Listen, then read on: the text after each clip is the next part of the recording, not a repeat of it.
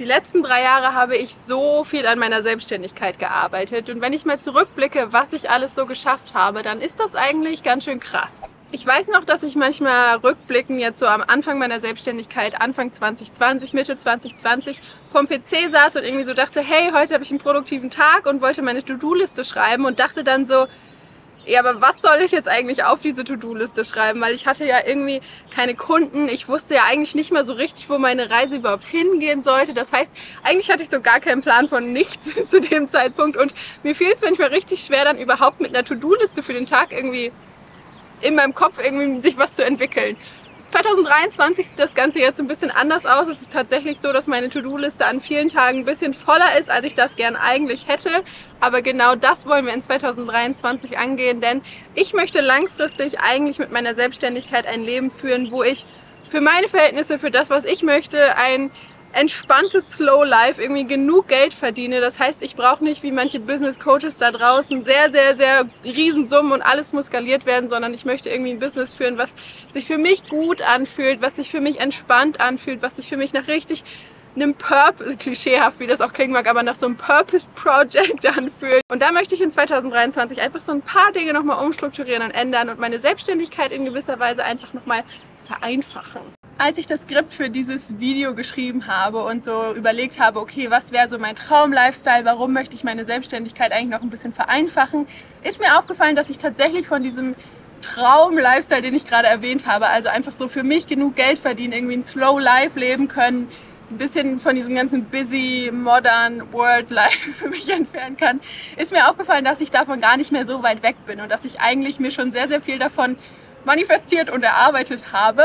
Aber trotzdem gibt es noch so ein paar Dinge, die ich in 2023 anpassen möchte, um das alles noch ein bisschen entspannter zu machen. Für mich und für meine Kunden noch besser und einfach so alles noch ein bisschen abgerundeter zu haben. Bevor es gleich aber mit dem Video losgeht, muss ich dich noch einmal ganz kurz unterbrechen. Ich habe nämlich tatsächlich im Zuge dieser ganzen Umstrukturierung bzw. dieses ganzen Prozesses, wie kann ich meine Selbstständigkeit vereinfachen, auch eine Änderung getätigt, die dich jetzt schon betrifft bzw. von der du jetzt schon profitieren kannst.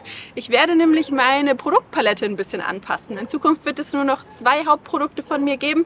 Viel mehr Infos dazu kommen später in diesem Video. An dieser Stelle sei aber gesagt, dass vier Produkte tatsächlich meinen Shop verlassen. Da sind coole Masterclasses, Minikurses, da ist mein gesamter Story Power Online-Kurs bei und auf diese vier Produkte kannst du dir bis zum 21.05. glaube ich, ich packe dir die Infos hier nochmal rauf, 20% Rabatt sichern und zusätzlich landet jeder Kauf, den du tätigst, auch noch in einem Lostopf. Du kannst nämlich eine Jahresmitgliedschaft in meinem Projekt, was, wenn es klappt, meiner super coolen Membership zum Aufbau deiner Selbstständigkeit gewinnen. Alle Infos dazu findest du auf meiner Website, die packe ich dir hier unten rein. Also viel Spaß beim Shoppen und beim Lernen und jetzt geht's aber weiter mit dem Video. So, wie möchte ich jetzt aber ganz konkret in den nächsten Monaten meine Selbstständigkeit vereinfachen? Step Number One wird vielleicht nicht der allergrößte sein, der jetzt den heftigsten Impact hat, aber ich versuche auf jeden Fall gerade auch digital mal so ein bisschen mehr mein Thema Slow Life Minimalismus reinzubringen. Das heißt, ich teste gerade mal so ein paar verschiedene Sachen, wie ich vielleicht nicht verzichte gerade tatsächlich mal so ein bisschen auf Notion. Wer hier schon länger meinen Kanal verfolgt, der weiß, dass ich ein absoluter Notion-Liebhaber bin, aber ich habe das Gefühl, in Notion kann man sich auch sehr schnell sehr viel verzetteln und wir kennen das alle, dass man in Google Chrome, Safari, was auch immer für einen Browser du benutzt, dass man 20 Tabs offen hat und hier und da mal schnell noch das To-Do macht, weil der Tab gerade offen ist und dann sieht man hier noch was und da noch was. Und ich habe immer das Gefühl, dadurch, dass wir uns so viel so visuellen Reiz schaffen, kommt so viel in unserem Gehirn überhaupt erst zustande, was einen eigentlich ablenkt oder was einen prokrastinieren lässt. Und ich glaube, wenn man das alles so ein bisschen vereinfacht, dann ist das ein bisschen entspannter. Eine Sache, die ich auf jeden Fall machen möchte, ist, dass ich meine Angebotsstruktur ein bisschen überdenke und es für mich ein bisschen einfacher gestalte und auch für die Kunden da draußen, also für dich im besten Fall, ein bisschen einfacher gestalte.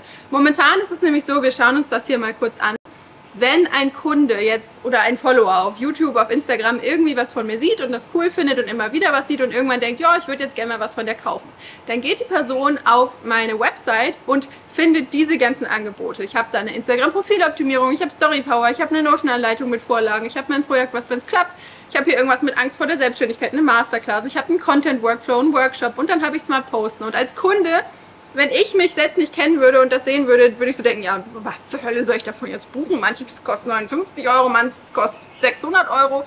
I'm completely confused. Und ich bin dann so jemand, ich kaufe dann gar nichts. Und das möchte ich auf jeden Fall vermeiden. Daher wird es in Zukunft ein bisschen anders aussehen. Und zwar werde ich das so machen, ich strukturiere das hier jetzt mal kurz ein bisschen um, dass wir quasi in Zukunft einmal mein Projekt Was Wenn's klappt haben, das ist zum Thema Selbstständigkeit und dann haben wir Smart Posten.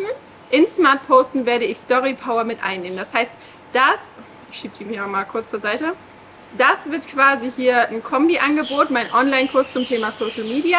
Das wird mein Produkt zum Thema Selbstständigkeit bzw. deine eigene Selbstständigkeit aufbauen.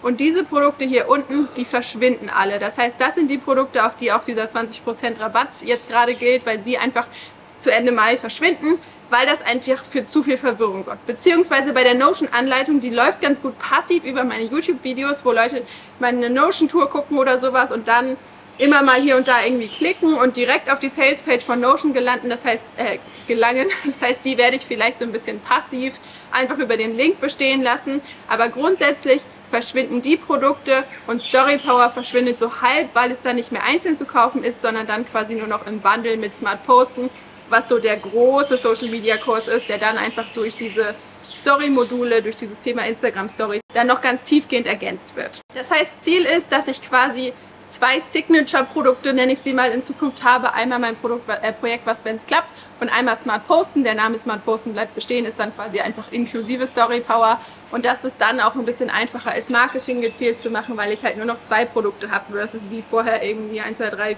4, 5, 6, 7, was halt irgendwie immer ein bisschen viel ist. Man kann das ja auch mal ganz gut vergleichen. Wenn man jetzt zum Beispiel ein Produkt hat, das kostet 59 Euro und ich sage so, oh ja, 6000 Euro Umsatz würde ich damit gerne im Monat machen, dann muss ich das halt auch 100 Mal verkaufen im Monat. Das heißt, ich muss super viel Marketing machen, ich muss mich mit 100 Kunden irgendwie beschäftigen, was natürlich cool sein kann, aber es kann ja auch immer mal sein, dass ein Kunde eine Frage hat, dass der irgendwie technische Probleme hat, dass der irgendwas nicht versteht, dass irgendwas nicht klappt. Also es sind so viele Sachen oder einfach dass man sich mit irgendwem nochmal unterhalten muss, nochmal eine extra E-Mail raussenden muss. Und wenn du jetzt aber ein Produkt hast, was stattdessen irgendwie 600 Euro kostet, na, dann musst du das zum Beispiel nur 10 Mal im Monat verkaufen. Ich finde, das sollte man jetzt nicht bei allem denken, weil dann denkt man immer, naja, ich könnte auch ein Produkt machen, das kostet 6000 Euro, das muss ich dann nur einmal verkaufen. Ich finde, man muss schon immer gucken, dass das Preis-Leistungsverhältnis auch stimmt. Aber natürlich macht es Sinn, in manchen Bereichen sich einfach vielleicht auch auf so ein paar höherpreisige Produkte zu konzentrieren, weil man dann einfach mehr Zeit hat, um auch gewisse andere Dinge zu machen und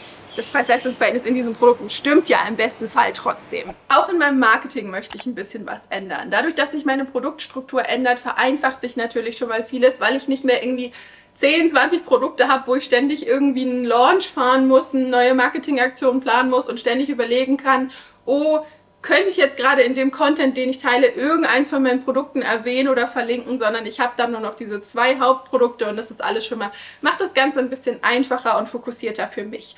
Zusätzlich habe ich mir überlegt, dass ich gerne mit zwei Webinaren in Zukunft arbeiten möchte. Das heißt, ich möchte ein Webinar zum Thema Social Media Marketing und eins zum Thema Selbstständigkeit aufsetzen, was auch wirklich richtig guten Mehrwert liefert. Ich hasse diese Webinare, wo man so 10 Minuten Input bekommt und dann die Person 30 Minuten darüber redet, hey, jetzt kauf aber mein Hauptprodukt, das möchte ich nicht.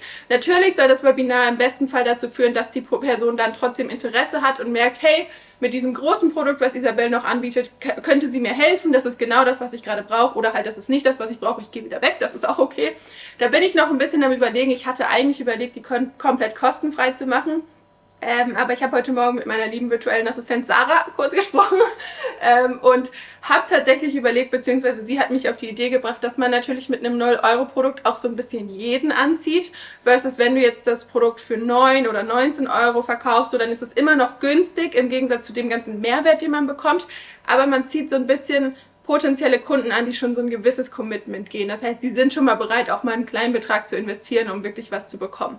Das ist noch komplett in the making, gerade sowohl die Themen für die Webinare als auch der Aufbau und so weiter. Das ist viel Arbeit hinter den Kulissen, weil ich auch mal gucken muss, wie man das technisch alles umsetzt.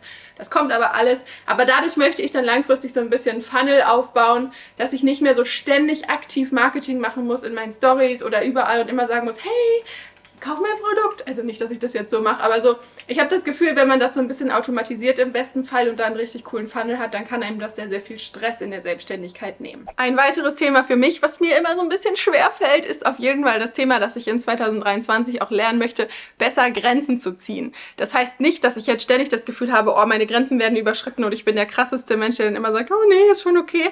Aber ich habe manchmal dieses People-Pleaser-Syndrom und mir fällt es manchmal schwer, weil ich immer so ein bisschen das Gefühl habe, ich möchte so auf gleicher Ebene mit meinen Kunden sein. Und ich mag nicht dieses, oh ja, die ist da oben, ich bin hier unten, die erklärt mir jetzt was. Aber manchmal muss man, glaube ich, auch gewisse Grenzen zwischen sich und seinen Kunden schaffen, einfach damit es so eine professionelle Distanz behält und dass das alles gut ist und dass man auch selbst sein Business so entwickeln kann, wie man das möchte und nicht zum Beispiel bei jedem Feedback von einem Kunden denkt, okay, okay, okay, du hast was gesagt, ich muss das jetzt genauso machen. Das fällt mir manchmal sehr schwer, weil ich mir immer Kritik, sei die positiv oder negativ oder einfach nur konstruktiven Hinweis oder eine Idee. Ich nehme mir das immer alles zu Herzen und ich glaube, ich muss da so ein bisschen für mich noch mehr lernen, meinen eigenen Weg zu gehen und dass es auch okay ist, dass ich nicht jede Idee, jeden Impuls von außen aufnehmen muss. Das heißt auch das Thema, ich muss nicht jede DM beantworten, ich muss nicht jede E-Mail beantworten, ich muss nicht für jeden immer 100% da sein. Das wird auf jeden Fall ein Learning für mich in diesem Jahr, ähm, was, glaube ich, meine Selbstständigkeit vereinfachen wird. Ähm, ich muss nur gucken, wie ich da irgendwie für mich so ein bisschen die, die Balance finde, weil ich finde, so ein bisschen macht mein Business halt auch meine sehr persönliche Art und mein persönlicher Umgang mit meinen Kunden aus. Ein großer Teil meines Unternehmens ist ja auch mein Social Media Marketing und auch da möchte ich mir in diesem Jahr vornehmen, ein bisschen mehr nach dem Motto weniger ist mehr wieder zu leben. Das heißt, einfach für mich feste Strukturen schaffen. Hey, es gibt drei feste Tage, an denen ich Stories hochlade. Es gibt einen festen Tag, an dem ich ein Reel hochlade, einen festen Tag, an dem ich einen Feedpost mache auf Instagram und dann im besten Fall mache ich noch einmal die Woche ein YouTube-Video. Wenn es mal zwei Wochen dauert, bis es das nächste gibt, das dafür aber richtig gut ist, dann ist das halt so, weil wir kennen das alle, wenn man Social Media Marketing betreibt und Content erstellt, dass man immer denkt, oh, ich habe schon so lange nichts gepostet, ich muss jetzt aber wieder was posten, weil sonst XY. Aber ganz ehrlich, was passiert denn, wenn man mal zwei Wochen nichts postet? Ja, davon geht das Business auch nicht gleich den Bach runter. Also ich möchte einfach wieder mehr Fokus darauf legen, dass der Content, den ich poste, dass ich mit dem einfach zufrieden bin und dass ich denke, hey, der ist richtig cool, da habe ich irgendwie mich kreativ ausleben können, da habe ich irgendwie so einen besonderen Faktor drin, dass das nicht so 0815 Content ist, sondern irgendwie, dass ich damit zufrieden bin und finde, dass mein Business dadurch an mehr Wert gewonnen hat und nicht, dass ich einfach schnell mal einen Vlog filme und den irgendwie schnell zusammenschuster, weil ich das Gefühl habe, oh shit, ich muss ja mal wieder was posten. Kleiner Social Media Disclaimer übrigens an dieser Stelle. Du unterstützt auch mein Social Media Marketing, besonders mein YouTube Marketing extrem, wenn du meinen Videos immer mal einen Daumen nach oben gibst. Also mach das gerne bei diesem Video. Abonniere natürlich auch gerne meinen Kanal, wenn du das noch nicht getan hast. Und am meisten freue ich mich auch immer, wenn ihr mir hier auf YouTube ein paar Kommentare da lasst. Also macht das auch gern, weil davon lebt YouTube auch so ein bisschen. Ich möchte in diesem Jahr auch noch lernen bzw. mir beibringen, wie ich gewisse Prozesse in meinem Business ein bisschen automatisieren kann.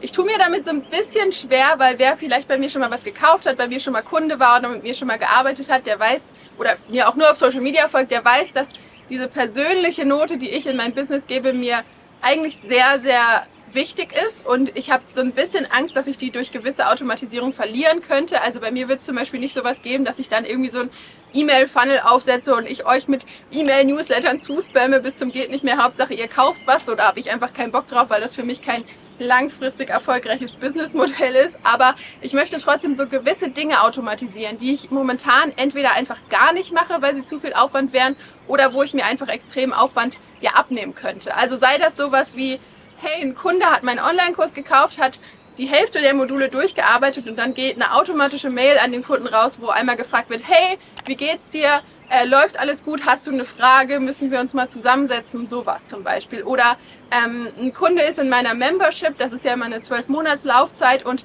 äh, Monat 11 ist rum und ich schicke dem Kunden jetzt nochmal eine E-Mail mit einem Angebot, hey, möchtest du um ein weiteres Jahr verlängern, hier ist ein Rabattcode oder irgendwie sowas.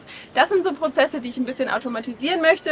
Dazu hole ich mir wahrscheinlich auch ein bisschen Hilfe an Bord. Ich glaube nicht, dass ich das komplett alleine aufsetzen werde, sei das ein bisschen Ideen, Spinnen, Basteln und so weiter mit einer virtuellen Assistenz oder dass ich mir wirklich da nochmal einen Profi zu diesem Thema Funnel, Aufbau, Workflow, was auch immer dazu hole. Das muss ich mal schauen, aber das ist auf jeden Fall schon viel zu lange auf meiner Liste, als dass ich das nicht endlich mal angehe. Das ist auf jeden Fall erstmal so der grobe Plan, den ich in den nächsten Monaten verfolge. Und ich freue mich schon richtig darauf, das alles umzusetzen, weil ich es liebe an der Selbstständigkeit, dass man so an diesen ganzen eigenen Ideen basteln kann und Step by Step lernen kann. Natürlich macht man auch irgendwie Fehler, aber aus den Fehlern lernt man wieder. Dann kann man neue Sachen umsetzen. Ihr wisst, wie das alles ist, wenn ihr selbst vielleicht auf diesem Weg seid. Den ersten Schritt habe ich ja auf jeden Fall schon gemacht, indem ich meine Produktstruktur gerade so ein bisschen ändere. Also denk dran, bis zum 21.05. kannst du dir auf jeden Fall noch die 20% Rabatt auf manche Produkte sichern, die den Shop verlassen. Den Link dazu packe ich dir auf jeden Fall in die Infobox. Ansonsten schreib mir gerne in die Kommentare, wenn du zu einem Thema, das ich hier erwähnt habe, nochmal ein extra Video haben haben möchtest oder irgendwie Fragen hast, dann versuche ich darauf einzugehen. Ähm, sonst wünsche ich dir jetzt aber erstmal ganz liebe Grüße hier aus dem wunderschönen Thailand. Ich muss jetzt wieder rein. Es ist sehr warm hier. Ich schwitze mir hier einen ab. Und wir sehen uns ganz bald wieder. Bis dahin erstmal. Tschüss. Ich schwitze mir einen ab, war nicht ganz so professionell.